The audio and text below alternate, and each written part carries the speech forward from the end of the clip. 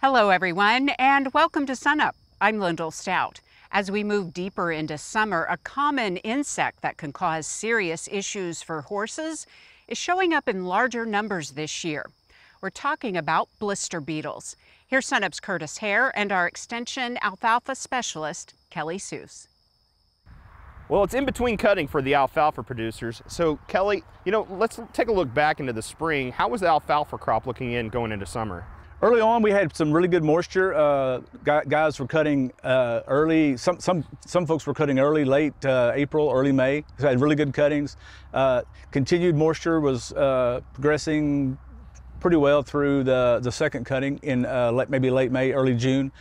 This time of the year, if it's dryland alfalfa, probably not so much. That, that things, are, things are slacking off a little bit. We may have a late cutting later in the summer, late early fall, but right now if it's dry land with all this heat and uh, uh, dryness we're having right now, it's probably uh, not too much going on as far as the hay cutting. Yeah, when it comes to the cutting, maybe not much going on, but probably when it comes to the pests, this is the time of year where a lot of producers are going out in their field and starting to notice more activity. Right. Uh, I've gotten several reports of, of uh, striped blister beetle activity, uh, mostly in the northeastern parts of the state so far, but in some other reports as well. Uh, this is the time of year that we normally see that activity. Uh, we have other species that we that, are common in Oklahoma, but the one we have to really uh, worry about and deal with is the striped blister beetle. They uh, they're the ones that have the most concentration of cantharidin, which is a toxic uh, chemical that can cause damage to uh, livestock and when feeding the hay to that to that particular livestock interest, especially horses, and they, they can they can cause severe problems and even death to horses. Well, horses, obviously, we're, our horse owners are always concerned about blister beetles, but when it comes to other livestock um, and our ruminant animals, is, are they as big of an issue?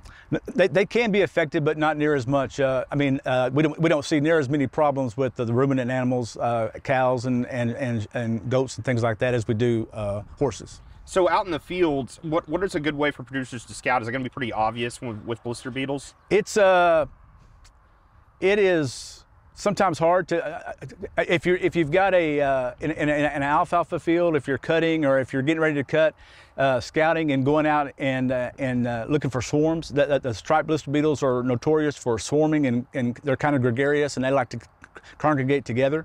And so this time of year they're they're looking at you know, if you're going out and scouting, you, will you, see a lot of activity. You'll see like the ground tends to move. I mean, you'll, you'll see even up on a swather, you'll see if it's a big enough area, you'll see uh, things moving and you'll see some, some activity like that. That's a good sign.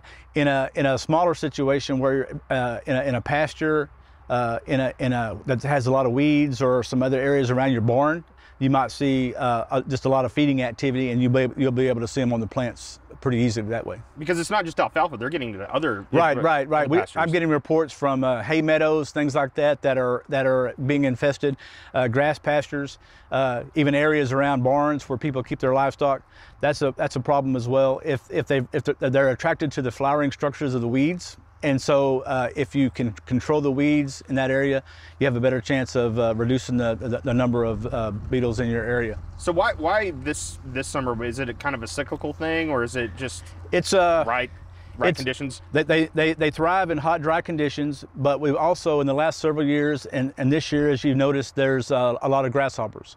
Uh, they're, they're, they're kind of symbiotic in which the, if we have a lot of grasshopper population uh, in one summer, then the blister beetles later in the year, they feed on grasshopper eggs that are laid in the short mm. areas of the, of the soil in, in, in, cracks and crevices. They feed on them to get a good nutrient source to overwinter. They come out next, next spring, and if they have a good, have a good uh, food source in wintering, then they can come out in full force next spring.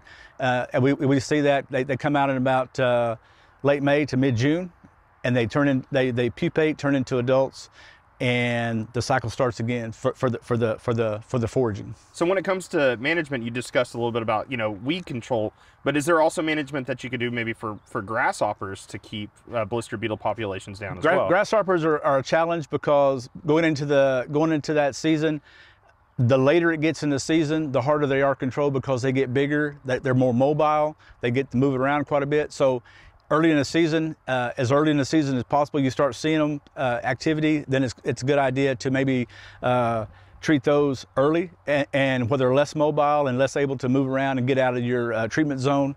If you can get that done early, then you have a better chance of controlling them later in the season. All right, thanks, Kelly. Kelly Seuhs, alfalfa specialist here at Oklahoma State University. And if you'd like a fact sheet about blister beetles, go to our website, sunup.okstate.edu.